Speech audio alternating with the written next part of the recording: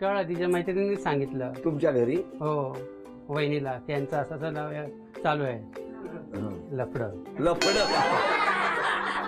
वहिनी हे काय लफड करून ठेवलंय तुम्ही? कोर्ट मॅरेजच केलं ना तर नॉर्मल आम्ही खरेदी करायला बरोबर, गेलो. बरोबर. त्याच दिवशी आम्ही पिक्चरला जाऊन बसलो. कुठल्या? जुदाई. तुम्ही गेले नव्हते त्या मेळाव्याला? अ, मी होतो. हा. पण अ, तुमची पण लिस्ट काढणं चालू होतं? नाही. आई आणि मुलाचं बरं काम चाललंय तिकडे. पण मग परत तुम्ही भेटले का?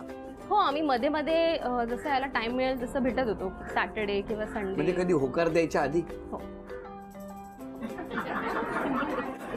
तुमचं ट्रॅव्हलिंग नक्की कुठे होतो? घरात घरातल्या बाजार हाट वगैरे हा प- प्रकार कोण करतो? मार्केटमध्ये जाणं. आपण काय करता मला सांग. का बोलताय? तो बालपण आनंदात गेलं असं? आता दुःखात असतील वाटतं थोडेसे आता दुःखात म्हणजे असं काम करायला लावता तुम्ही काय करतील ते? इतकं काम मी लहानपणी नव्हतं केलं. वहिनी काय केलं त्यांचं असं हो तुम्ही? पहिलंच मी त्याला बरोबर ट्रेन करून ठेवलंय. हे बरं आहे. वहिनी तुम्ही सांगा त्यांनी सोबत कुठला बदल केला पाहिजे?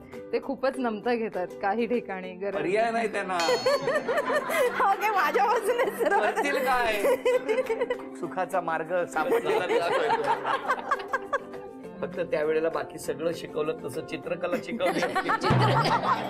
ओरिजिनल प्राणी आणि पक्षी आम्हाला कळले असते अरे देवा घोडा तो माझ्या स्वप्नात येणार किती वर्ष झाली लग्नाला? अकरा वर्ष झाली. अकरा? हो.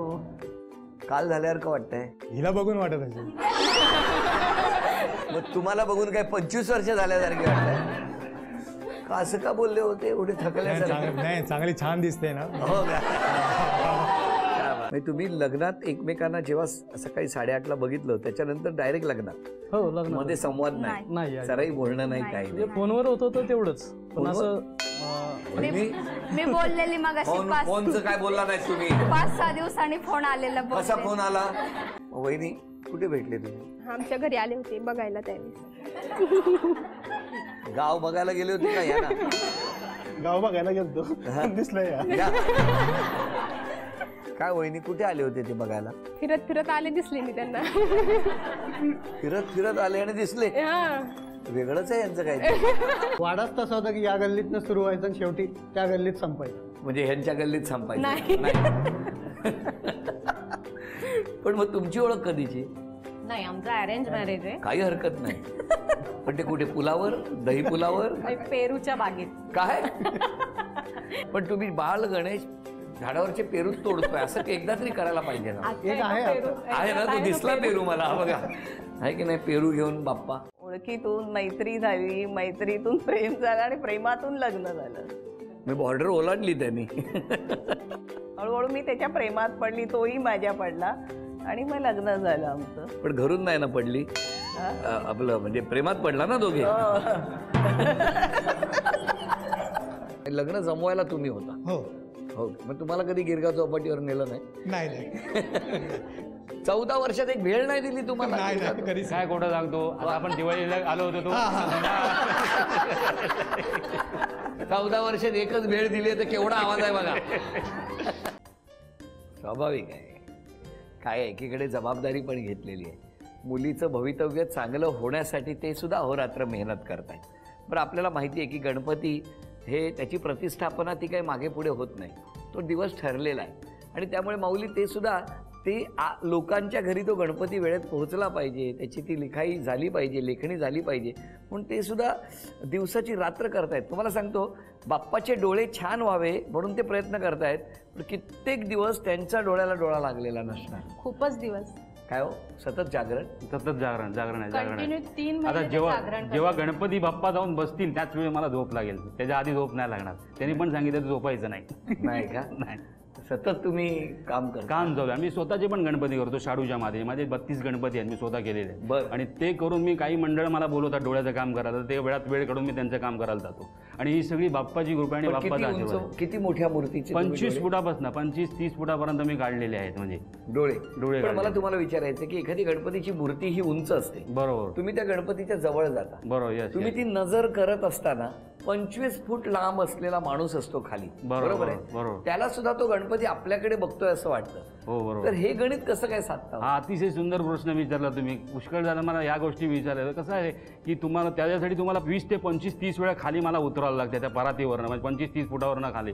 आणि त्या अँगल बघायला लागतो आय लेवल बघायला लागते. आणि त्यानुसार मग नंतर मग त्याचं कॅल्क्युलेशन करून आपल्याला डोळ्याचं काम करायला लागते त्या सगळ्या गोष्टी. केवढं कठीण आहे ते. हो हाय हाय पुष्कळ पुष्कळ. म्हणजे या या वहिनी कधी डोळे मोठे करतात का हो? होतं आमचं दोघांचं होतं. मी पण करतो ती पण करतो. पण नंतर मग परत डोळे छोटे होतात. किती वर्ष झाली वहिनी लग्नाला? चौदा वर्ष. चौदा वर्ष? पण आनंदात आहात. हो एकदम. कशी साथ दिली हो तुम्हाला? या पुष्कळ.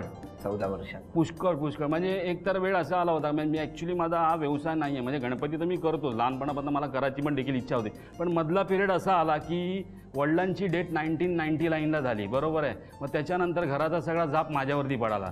आणि त्या काळामध्ये मला काही चांगले मित्र देखील मिळाले. गणपतीचं काम कसं होतं की फक्त तीन महिने होतं. आणि त्याच्यानंतर मग आपण काय करायचं की ते आपला व्यव व्यवसाय कसा चालवायचा आणि घर कसं चालवायचं. तर ते एक मित्र होता तो मला बोला की तुझं आर्ट लेवल चांगलं आहे तर तू थ्री डीचे मॉडेल्स का नाही बनवत? जे कॉईन्स मिळतात तुम्हाला ज्या बाजारामध्ये लक्ष्मी गणपती ज्यावरती असतात किंवा माणसाचा चेहरा असतो किंवा कंपनीचा लोगो असतो. तर ते मॉडेलची कामं नंतर मी करायला लागलो नव्याण्णव सालापासून. पण त्याच्यामध्ये तब्बल अठरा वर्ष माझी त्याच्यामध्ये गेल्यामुळे मला तर गद गणपतीच्या माध्यमात मला तर मला मला मला कारखाना करायचा होता. तो साध्य झाला नाही. पण त्याच्यानंतर काय झालं ते करता करता मी गणपती करत होतो. मग एक गणपती आला मला मग दोन आला मग त्रास पडत होता. मग त्या दरम्यान माझं लग्न पण जमलं. पण ते जाप वाढल्याच्या नंतर मग काय मी हिला बोललो की आपण हे नाही करायचं मला होत नाही. पण त्यावेळी ही माझ्या पाठीशी उभी राहिली आणि मला काय बोलली की नाही ही सरस्वती तुम्हाला देवाने दिलेली आहे. म्हणजे मुलीपेक्षा जावई चांगले. हा. काय? सर्टिफिकेट आहे बघितलं ना काय कॉन्फिडन्स आहे. पण मी काय म्हणतो कुठे हे सगळं व्हायचं गिरगाव गिरगावात झाबावडीत झाबावडी. चौदाडीमध्ये मग आता स्वतःचा एक पाठ घेऊन जाऊन बसा ना. नाही, नाही.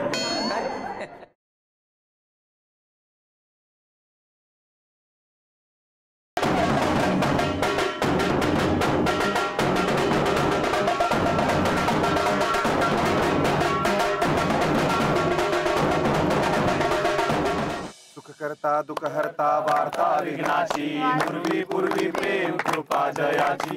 सर्वांगी सुंदर वटचेंदुराची गंते गरते मान कापळाची जय देव जय देव जय मंगल मूर्ती दर्शन मात्रे मन कामना पूर्ती जय देव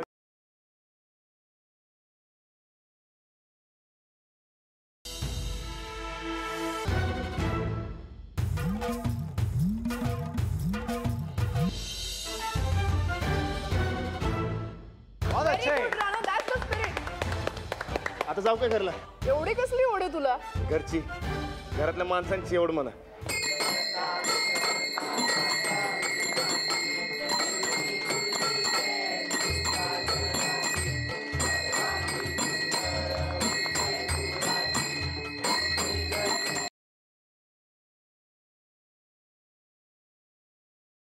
तुमचा मुलगा अथर्व त्याचा ऍक्सिडेंट झालाय. बाबा अगं अथर्वाला शाळेतून घेतलं आणि घरी निघालोय. अथर्व तुमच्या बरोबर आहे? मग मला असा फ़ोन कोणी केला असेल? सनाया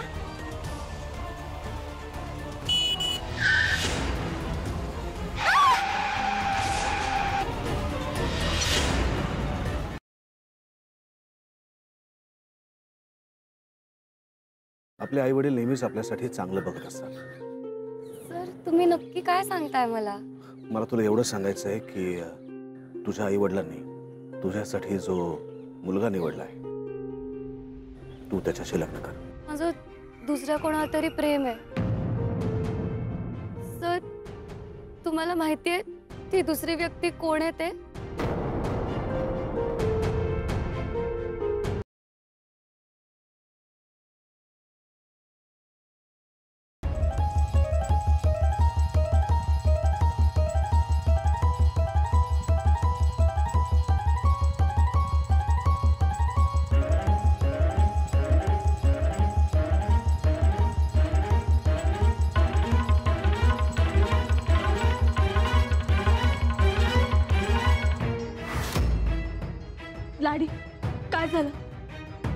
युवराज युवराजनी थांबा